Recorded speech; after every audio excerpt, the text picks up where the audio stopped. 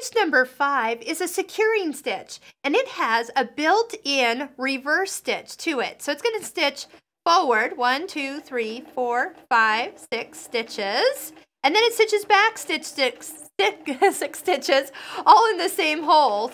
And then it takes off. So then you can sew to the end of your fabric. So how about let's just do that. We'll go all the way to the end. But the nice thing is you don't have to hold your reverse button in. Just go ahead and touch it and it will go ahead and stitch backwards and forwards and it will stop for you. So let it finish. Your foot should still be on the foot control, which mine is. Then let up and then go ahead and take it out. So you have these stitches that are both locked at the beginning and the end automatically. Now once you have this, once you finish the stitch, that means it can start again. The sequence is ready.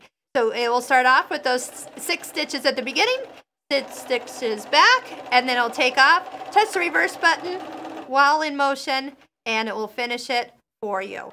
How easy is that?